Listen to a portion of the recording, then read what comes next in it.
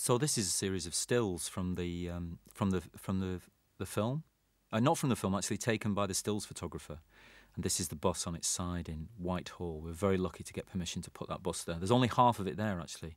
The, the top half has been put in afterwards.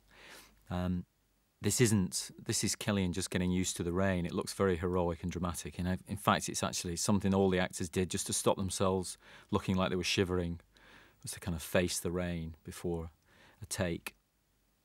A couple of infected. We were very lucky on the film to have the stills photographer Peter Mountain, who took all these, with us the whole time. It's always a big decision on a film that financially not to have the stills photographer there the whole time, just to bring him in on certain days for big setups. But you gain a lot more when he's there the whole time. And it's true to say that Peter took some wonderful photographs for us, and they, their value is when you come to publicise the film, especially if you don't have a star um, or very recognisable face. The pictures themselves have to be of a quality that makes a picture editor on a magazine or on a newspaper pick it out and say, hey, let's run with that. Uh, you know, and uh, they always say the picture's worth more than a good review in a way. Um, well, I don't know whether that's true or not, but um, um, this is the money scattered in near Buckingham Palace, which is based, as I think I said in the other commentary, on a, a still from uh, uh, Cambodia when they went into uh, after Pol Pot was driven out of Phnom Penh. This is at Horse Guards. And it's quite interesting. You see uh, celluloid, which these are taken on, obviously. There's much more detail than actually in the digital video that we used in the film. So um, there's one shot in particular, I think, which I hoped here of him in the distance with the soldiers, the statues of the soldiers, which we couldn't use on the digital video because there just wasn't enough resolution that far away from the camera. But um, this one, yeah. But on celluloid, you pick out, your eye goes right in and you can pick out detail. You don't get that with the less resolution. But I love that shot, but we never, we couldn't use it in the film itself. The cenotaph and the soldiers that you're going to get at the end of the film, it's a prefigurement of that, really, I suppose. Um, that's at Bank. And um, road markings, obviously. That'll be replaced soon by congestion charging signs, big C's, Ken's congestion charging. Uh, this is the Benetton sign that we had put up. That's um, Miguel and um, I don't know what that, what was that other girl called? Something like Helen or something like that. These impossible models um, that we had put up there. That's Cillian telling me how to set up my next shot. The next shot of him in the pajamas.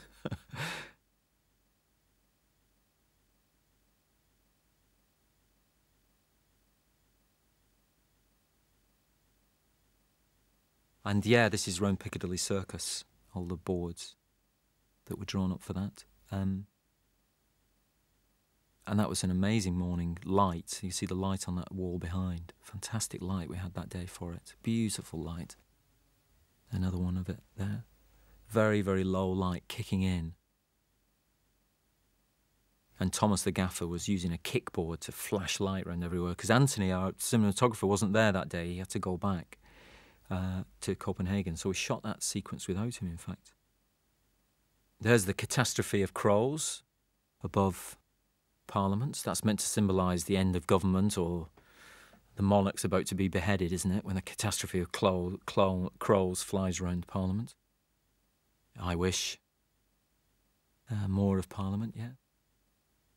These shots do help enormously in uh, in trying to sell the film, in, in, in position, what they call positioning the film, really. This intriguing idea of a deserted London. Uh, this is uh, meant to be St Thomas's Hospital, though we shot it somewhere else. It's actually shot at uh, a hospital uh, in Acton, an NHS hospital in Acton, a brand new day hospital there. Um, and they make money by allowing film crews in to film at the weekends because they're day hospitals. They work Monday to Friday. They do day operations and people leave. And they make money for the hospital by allowing film crews in at the weekend. It's a very organised system, and, and you think it's fantastic, right? Giving the money directly to a hospital like that is great. This is uh, Finding the Dead, and all those people are um, alive, in fact, or virtually all of them are alive. They were students and friends who came in for a few hours and uh, promised to lie down for us and um, act dead.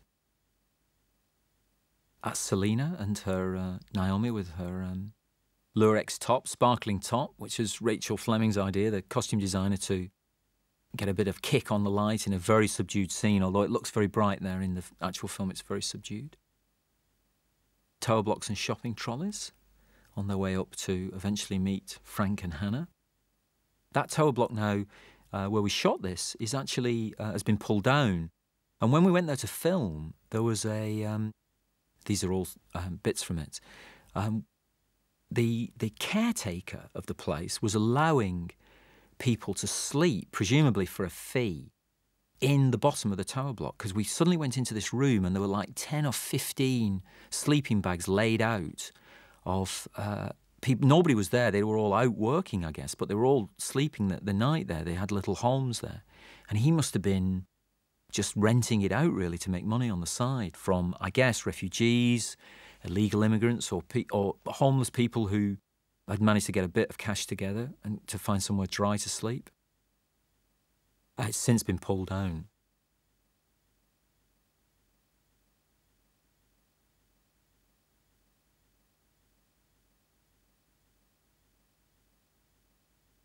The whole film was supposed to be um, candlelit, really, as there's no electrical light left other than kind of the odd batteries, car batteries here and there, like that. Um, and it's obviously a very nice, flattering way to um, This is on the on the roof of the tower block in uh, in uh, at the mouth of the block at the north mouth of the Blackwall Tunnel in London, and uh, it's fantastic looking down on London from on high, really, as a city. Um, uh, which you can get with a London Eye. This is meant to be the Blackwall Tunnel, but we did it in uh, a disused. Well, it, it, hadn't yet opened a, a, a little cut-off tunnel in the uh, Limehouse Link. Um, that we were allowed to get into and build our um, our traffic kind of collision there, and the infected running through.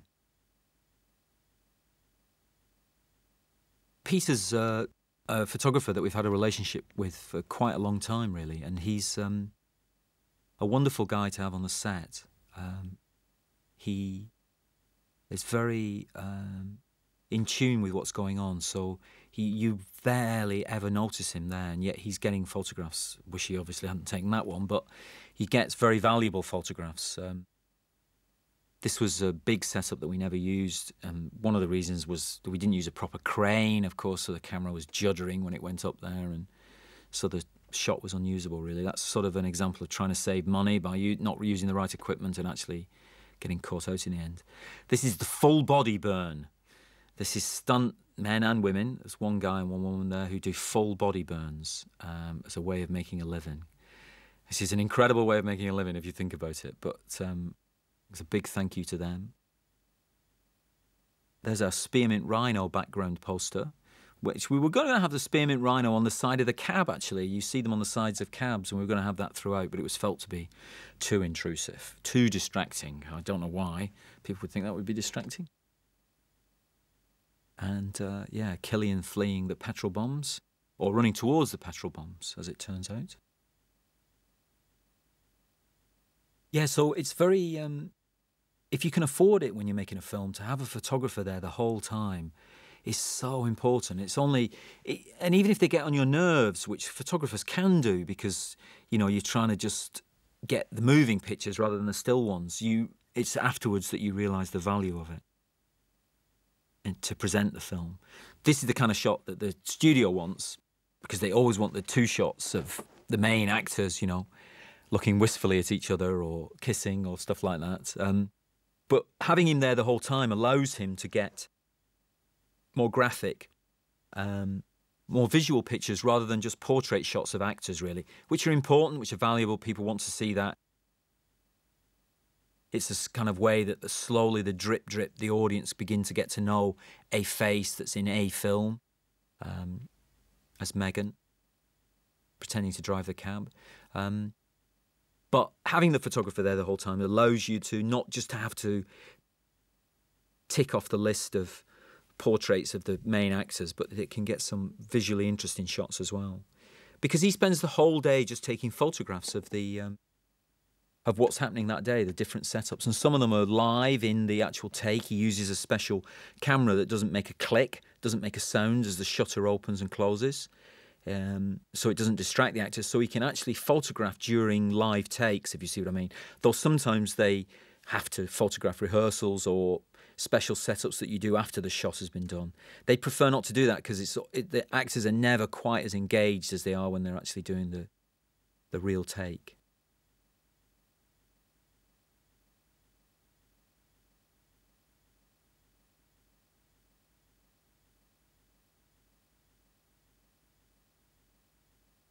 Ah, there's Anthony Dod Mantle, centre stage, our cinematographer, um, with his um, duvet on, his portable duvet, which comes from Canada, I believe, and kind of set you alight eventually. Spontaneous combustion, it's so warm. There he is again, showing me how wide his veranda is on, back home in Copenhagen. Um, it's very important to, with a photographer, that the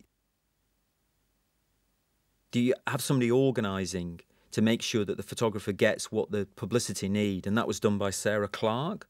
On this film, again, is somebody, uh, fantastic woman that we've worked with a number of times who has uh, organised and set up the smooth interaction of what the publicity needs and what the film is desperately trying to get before time runs out. And it's a sort of uh, an invisible and unacknowledged presence in a film, but very important, really.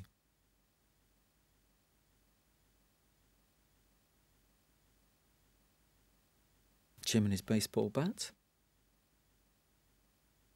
Don't know why I told you that. You can see that unless you can't see it.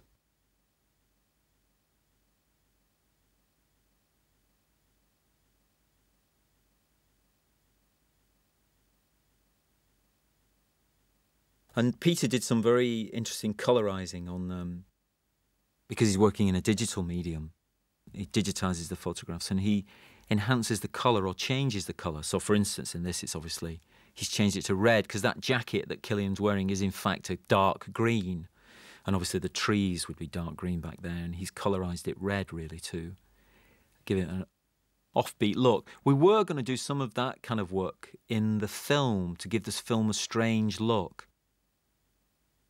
Um, because it's the end of the world. Who knows what everything would look like without pollution or, you know. Um, but we decided not to in the end, as it's the danger with them is they're always a little bit self conscious. And there is Anthony once again looking very self conscious. No, it's um, with the tiny little camera, you have all this equipment to hold it up, and the actual DV camera is actually in the end quite small. It's not one of those monstrous 35mm cameras that you normally see. And there's us just setting up um, different angles really. We would run around setting up the cameras and leaving them in different places really to record odd moments. That's a, an example of it. You just leave it on a box and just leave it set there. There's Simon and Marcel helping out there. Can't quite see what that is actually.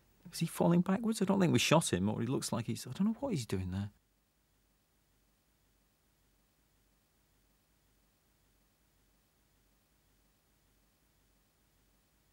Chris Eccleston noble in the rain. We had fantastic rain and um, we spent a lot of money and a, a lot of the skill of the guys setting up the rain for us to achieve that really thick, sexy rain, really, which you sort of is part of the diet that Hollywood establishes, really, in thrillers and particularly in thrillers, noirish things. And is often, in British films, is often a disappointment because you simply cannot afford normally the amount of money you have to spend on the rain. This is one of the photographs that was based on some of those terrible graves that were found in Bosnia in the um, in the nineties. Ricci and Cillian this sequence where he eventually puts his eyes out, there was also a terrible battering, fist battering, which went on before they took his eyes out. And we cut that from the film because it just felt too much, really. Um, I'm sure people will be surprised to hear that, but uh, because the end itself is very graphic and violent, but we did reduce it down considerably to compared to what we shot as a measure so that it took you somewhere but didn't kind of obliterate your senses, really.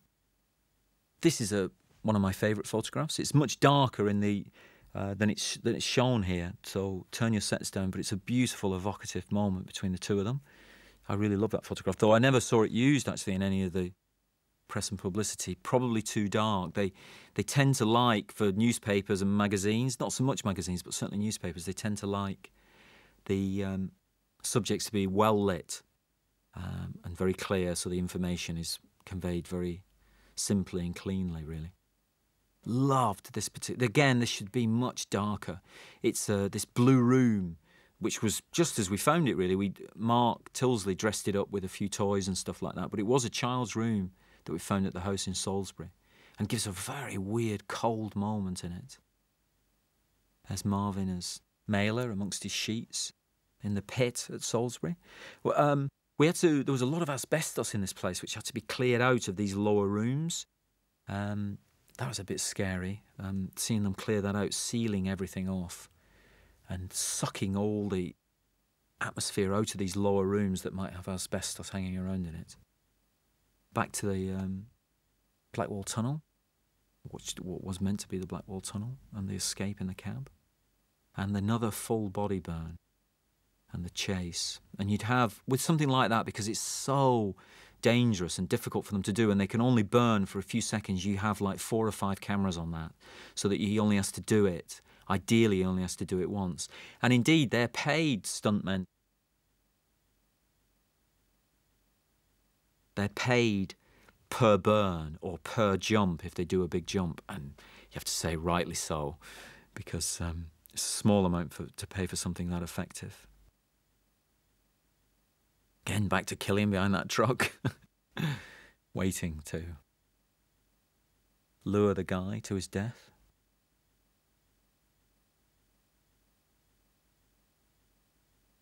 Here's Justin, um, plays the child in it, and did it was very brave doing this. It was timed out by Nick Powell, our uh, stunt arranger. The timing between the two of them had to be just perfect so that nobody got hurt during it.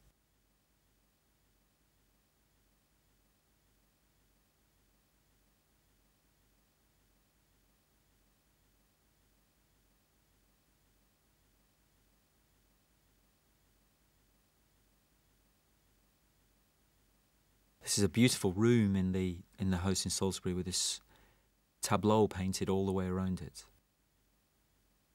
It had a special name, this room, but I can't remember it now. We have to be very careful not to. Nobody's allowed to touch the walls in any way, in case they damage the paintings. There's the London Eye, and um, this is mostly waiting time, really, while we were trying to wait to set up um, to stop the traffic and to set up our take. So there's a lot of photographs of that because Peter had a lot of time where he could just take photographs were no cars in it.